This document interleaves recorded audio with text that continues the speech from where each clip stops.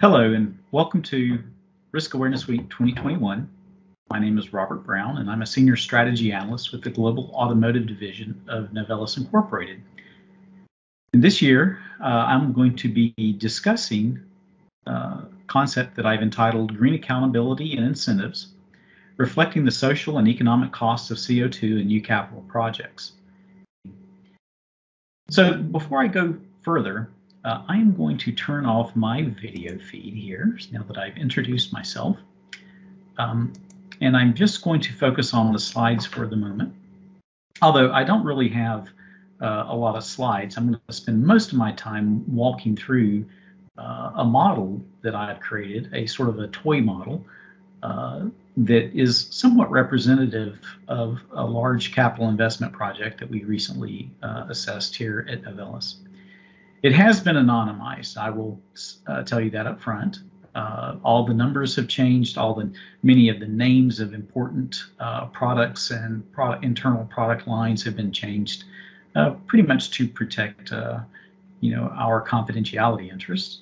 Um, but it should be reflective enough, I think, for you to get a good idea as to how we're beginning to think about this issue of what our carbon footprint is and what we can do to actually help control that, as well as to refocus our own incentives to choose those projects that are in line with our corporate goals uh, and values, as well as those of the larger uh, goals and values uh, I think that we share here on planet Earth. Before I go a little bit further, let me tell you a little bit about uh, Novelis and what we do. Novelis is the world's largest manufacturer of aluminum flat rolled product. And our products show up in a very wide array of both uh, customers uh, down uh, four primary uh, verticals. Primarily, we offer aluminum sheet and rolls, flat rolled product that goes into beverage cans, uh, the automotive industry. So many of you familiar with the Ford F-150 which contains a very large proportion of our aluminum, and itself is what we call an, an aluminum intensive vehicle. Uh, we also, through our recent acquisition of uh, Aleris, are providing aluminum flat rolled product to the aerospace industry. A number of specialty products uh, that are used in outside of our uh, three primary areas, but nevertheless actually contribute quite a bit to our overall business.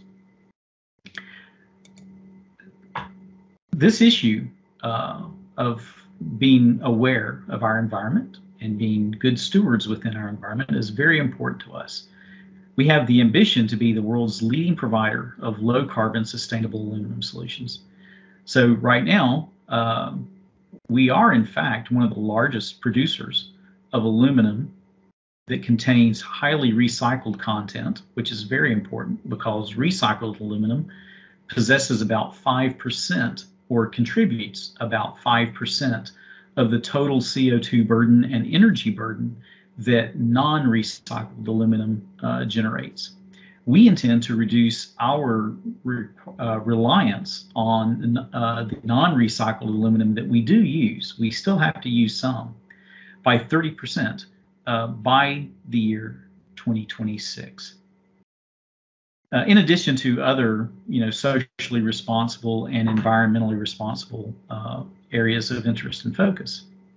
Now, this is not just, uh, I guess, promises that we are making on paper.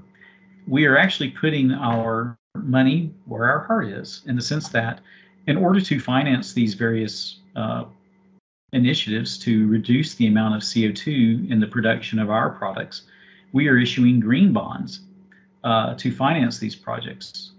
And these green bonds, of course, uh, have certain uh, CO2 reduction targets associated with them.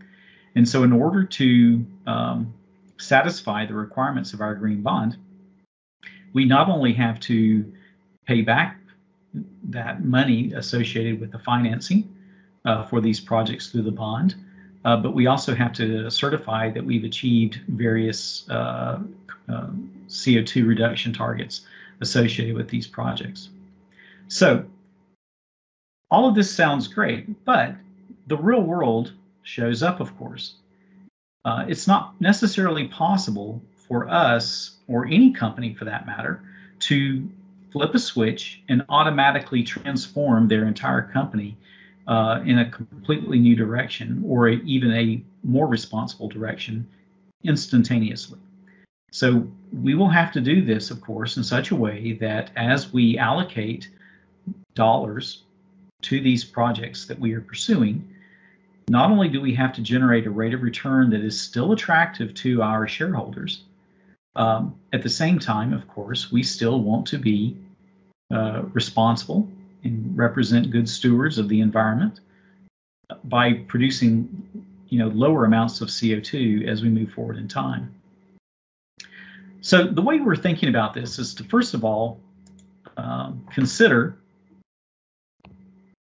selecting projects, of course, according to a, a typical finance guidance, and that is to always choose alternatives that maximize the net present value uh, to the organization. So let me discuss a little bit about, first of all, how we go about doing that um, within the context of both normal project selection as well as those projects that are associated with the reduction of greenhouse gases. I'm going to flip over now to uh, the model that I'll be discussing to get us there, to get us the, to this understanding. And I'll be demonstrating this model to you in an environment called Analytica, which is a modeling environment that I have been using since 1996. Uh, it's a really powerful modeling environment. Uh, it allows you to build your models in the form of an influence diagram to help guide you through the abstraction of the problem that you're thinking about solving, uh, as opposed to creating procedural line code or, you know, more of a spreadsheet type environment. It gives you the ability to visualize the flow of logic so that you focus more on concepts first and then quantification later. Not that quantification isn't important, but it helps us to think about the problem as we're structuring it and framing it. Um, and then, of course, we can go in to that structure and add quantification to it. I've gone inside the model details and you can see the flow of the diagram here. Um, we have a certain capacity that we are trying to generate. That capacity is going to influence the amount of supply that we can respond to. Uh, and then from the trade-off or the balance between the demand and the supply, that will lead us to a certain amount of contribution to the organization. In addition to that, in order to satisfy that supply, we would have to develop a certain amount of capital expenditure in order to generate the structure that produces the products that are aligned with the strategies that we are considering. And then finally, of course, each of these will produce some sort of operational cost. We are also considering in this particular case the possible divestiture of certain assets that are currently important to our portfolio, but maybe we would be considering uh, the effect that their age has on the overall CO2 production or greenhouse gas production that we're concerned about. And so, you know, we might think about uh, removing that from our portfolio and see how that affects the overall uh, strategic guidance. Let me dig in a little bit more uh, to this diagram with you. And specifically, um, I'll look at the supply portion. And you can see that what I've developed is a, a flow chart, essentially. Again, this sort of influence diagram type structure that guides me through how various product lines uh, are producing our end product and intermediate products along the way. So we're not just concerned about the final output. Every piece of our production process has intermediate products, and each one of those intermediate products as well has a certain footprint associated with it, not just in terms of the actual mass produced, but also in terms of the actual mass of the CO2 that gets produced. So as I follow this flow chart, uh, this will ultimately lead me to the total amounts of product in each one of those intermediate categories as well as the final output categories. For the primary concerns uh, were within the product verticals that I described earlier. That is automotive production, uh, can production, and our specialties uh, production, which is uh, contained in the IPG uh, uh, nodes. Ultimately, of course, um, this supply, supply combined with constrained against the demand produces a contribution set of calculations. And you'll notice in these contribution in this contribution flow chart that I've represented certain nodes with these ellipses, these light blue ellipses. These light blue ellipses are uh, nodes that carry uncertain information about them. In other words, behind these nodes, I will generate a Monte Carlo simulation of a distribution for that particular node and use those simulated values throughout the model uh, as it runs. You'll see a number of these uh, nodes as we walk through this model. But the point is, is that up to this point, in order to account for the CO2 that we produce, we have to account for all of the elements of our production process that are at least significant contributors to the overall CO2 footprint or greenhouse gas footprint that we are concerning ourselves with. Then each one of these elements are themselves generating uh, either a cost to us or a benefit to us in some way. We don't know precisely what those will be, and instead of trying to guess single point values, I will be representing those elements that we really don't know with precision with an uncertainty distribution so that in aggregate, in the aggregate effect of all of these uncertainties acting together, I can t- get an end view of what that effect is on that net present value calculation that we will use as our first pass to understand the value of the strategies that we may pursue. So ultimately, this gets me uh, to the value module, where as I follow the calculation of the volumes of mass produced in terms of our product and their intermediate contributors. Uh, ultimately, all this converges to a another influence diagram that guides us through the accounting of cash, ultimately to get us down to a strategy net present value. So when I run this particular node uh, in Analytica, I get that set of curves that I was showing on uh, the slide. So here we are considering uh, approximately or seven different strategies in the pursuit of a capital allocation or a capital expansion uh, opportunity that we have. This opportunity, this expansion opportunity, as I pointed out, may involve some divestiture of certain assets. Uh, it involves improving the efficiency, the overall efficiency of our existing assets. Uh, it includes possibly um, taking the steps to expand our market share as well as maintain market share or uh, you know position ourselves in different kinds of ways in the market and then ultimately we are also going to be considering the effect of some of the um, improved use of recycled content all of these strategies, in some form or another, contain those elements of consideration in the formation of those strategies. So, as we look at this, we can see that the ultimate calculation of the net present value for these strategies produces quite a range.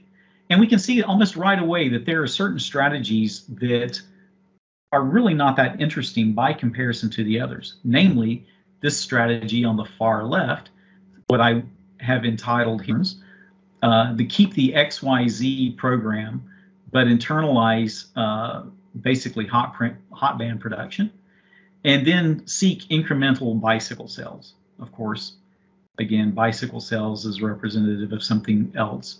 Um, but you'll also see that we have these other strategies. We might want to grow uh, the bicycle market as well as uh, also grow our uh, aluminum foil hat market. So we have seven strategies is the end point. and we can discard some of these because by comparison to some of the others, uh, they are not dominant or they overall do not present uh, a range of value that is any better uh, than some of the others. In fact, if we do look at this uh, these set of risk curves, we can see that among those that are really the most competitive for consideration, uh, we, are facing a, a, bit of a trade-off uh, that we have to consider, and that is that even though on a median basis or even a mean basis, we can see that some of these strategies um, have about the same value. In the upper tails and in the lower tails, we might see opportunities to take advantage or uh, mitigate risk uh, or do some things to promote or to you know uh, help us to manage the risk on the downside tails. But what this is basically showing us is that we now have uh, really three key strategies to focus on. If we are considering only net present value as our primary uh, way of making a, a, determination about which strategy to, to pursue. However, um, we know that can't be the only consideration uh, because we are also faced with reducing CO2. And so, based on those other intermediate products in the final in the production of our final finished goods products that go out to the market, we also need to trace and uh, the contribution of each one of those intermediate steps t- through the CO2 that they produce, so that we can get some sort of total CO2 burden uh, that gets generated over the horizon, the time horizon of the of the uh, the strategies that we're considering. Now, again, you'll notice that this um, influence diagram, actually, let me switch over to the uh, Analytica model. Um, you'll notice that some of these nodes are also the types of ellipses that I described would carry simulation or Monte Carlo kind of uh, information behind them. They represent the uncertainties that we face uh, as we consider the elements of this part of the model. The key pieces of this model are the regional sourcing mix, that is, um, as we consider, uh, let me open this up. As we consider where our aluminum is coming from within the world, we also want to consider what source of energy is used to generate the the prime aluminum or that aluminum that doesn't contain recycled aluminum. Remember, because the prime aluminum is the aluminum that basically costs us the most in terms of energy as well as CO2 footprint. And then for each one of those, we will also be considering uh, sources of prime that come from coal generation. On average, we consider that coal requires or produces about 21.1 tons of CO2 per ton of finished product. So when we look at a ton of finished goods that comes out of this production process, 21 tons of CO2 are produced. Oil and gas are slightly less. Gas is about a little bit more than just half of the coal. Gas and hydro are even better. Of course, nuclear is probably about the best. These will go into uh, the calculation of the overall CO2 burden. And that CO2 burden, actually over the horizon, gives us an output that looks a bit like this. So each one of these strategies is responsible not only for producing net value back to us as a company, and to our shareholders. But they are also responsible for generating a certain amount of CO2. Now, when I go back to my value calculations and compare that CO2 production to the overall net present value that's generated, as you can see, not only do we have curves associated with the net present value and the CO2 production, but when we throw them up against each other in a scatter plot, we see that it's a little difficult uh, to clearly see which strategy produces the most value as well as the least amount of CO2. Now, a little giveaway, you can already see that one of these strategies, uh, in fact, seems to produce not just a, a net increase in CO2 as these others are, but this particular strategy actually seems to reduce the overall CO2 uh, compared to uh, all the other alternatives we have, and, and especially compared to our baseline. However, if this were in another situation in which these are not so distinct from each other, we need another way to actually calibrate or to think about um, how to trade off a dollar of net present value versus a ton of CO2 produced in equivalent terms. So that'll be the, the next part that I'll want to discuss with you. In fact, I'll just skip back over to the presentation just to quickly sh uh, show you where we are. The next thing is I want to come up with a way or to think about a way that I can do this equivalence type calculation. And I'm going to do that by reflecting back on the, the carbon credit market in Europe. And then I'm going to convert that into dollars in the end. So let me discuss briefly how I do that. If you'll notice down here, I have a little CO2 calculation module. And here I've created a, a, a set of calculations that start off with the weekly carbon prices for a carbon credit market, uh, for the carbon credit market in Europe. Now, these, when I look at these prices over time, as you can see, they've evolved from reaching a, a peak back around 2009 or so, um, or middle uh, 2008, I'm sorry, declined and picked back up again. From here, from those weekly prices, I then calculate what the weekly returns would be, convert that to daily returns, uh, and then I calculate a cumulative probability distribution, uh, as you can see right here, for those returns uh, over that approximately 12-year uh, horizon.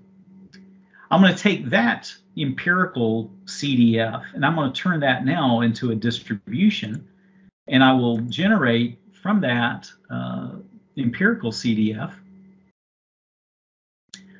uh, a simulated set of returns for the next 10 years. So every single day, I'm going to generate a range of possible returns. And I'm going to use that then to create a CO2 forward looking price curve.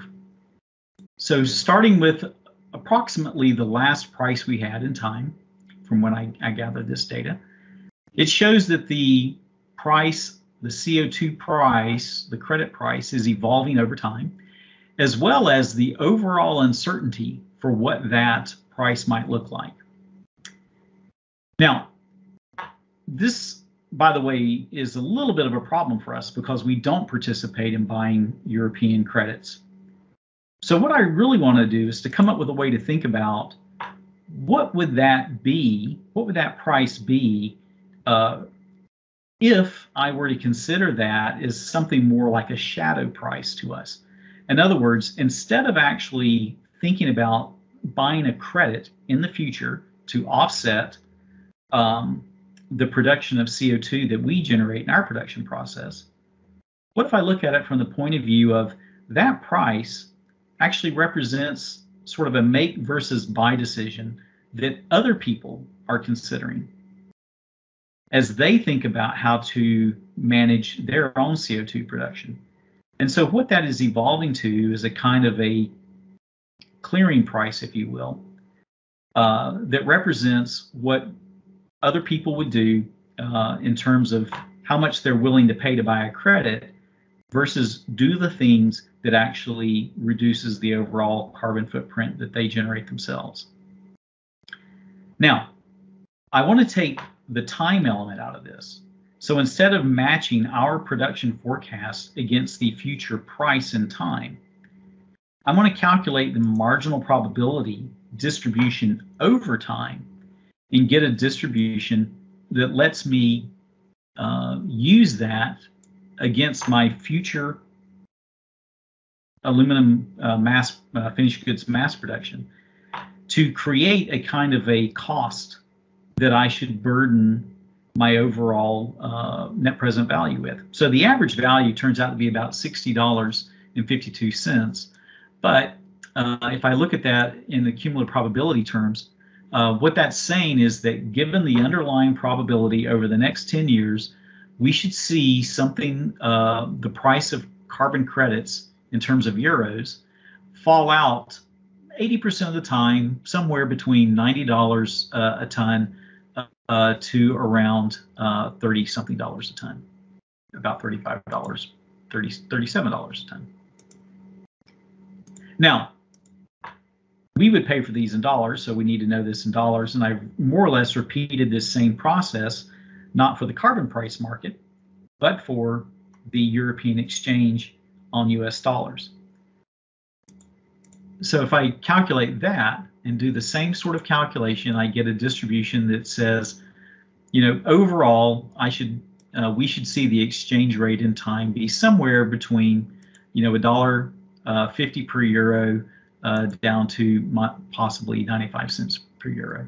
So if I apply this distribution to my European shadow price distribution, what I get overall is a price distribution that I want to call my discount price.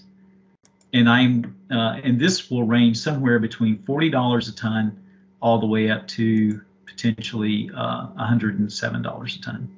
Uh, that is with an 80th percentile prediction interval. Now, I want to point out and, and sort of emphasize this price is not something that we will pay out of pocket. So, in a sense, this is a this is a shadow price or a uh, a non-cash expense to us, and so I'll have to treat it in that way. Uh, I can't necessarily take it out of uh, our P&L as an actual expenditure. So what I will do though is to take that price and I will apply it against the annual CO2 burden, and I will then from that calculate a total CO2 burden in terms of dollars um, against the uh, the actual uh, production of net present value my model. So these curves will be applied to my strategy net present value, and they will create a discount against my original net present value. So let's look at these curves again. So these curves originally represented what net present value I would generate with these uh, alternative strategies I could pursue without regard to CO2 production. And then if I burden each one of these strategies value with that CO2 value as a shadow price, again, as a non cash expense, it reprioritizes my attention on other strategies. So in fact, let's look at this in terms of a expected value or mean value of the original net present values